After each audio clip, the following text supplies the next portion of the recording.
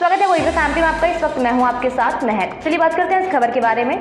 तो मध्य प्रदेश में मानसून की विदाई के बाद एक बार फिर बारिश का दौर शुरू हो गया है, जिसके चलते फ़सलों और जनजी जनजीवन को भारी नुकसान पहुँचा है।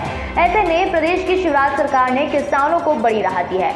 शिवराज सरकार ने वर्षों से प्रभावित फ़सलों की क्षति और का सर्वे कराने और नुकसान की भरपाई के लिए सहायता राशि देने का फैसला किया है। सीएम शिवराज सिंह चौहान ने कहा कि प्रदेश के कुछ स्थानों पर फ़सलों को हर दो दिवस में हुई वर्षों से क्षति हुई है।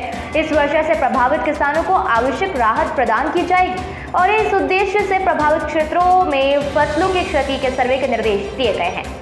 क्षति की आकलन होने पर प्रभावितों को सहायता राशि मिलेगी। किसानों को फ़सल बीमा योजना का लाभ भी दिलवाया जाएगा।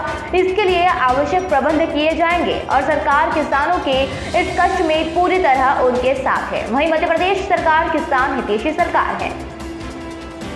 ये था आपका का अपडेट। इस तरह की तमाम जानकारी और लगातार हर छोटे से बड़ी आगे की अपडेट्स के लिए बने रहिए। वॉइस ऑफ़ एमपी के साथ। जय हिंद, जय भारत।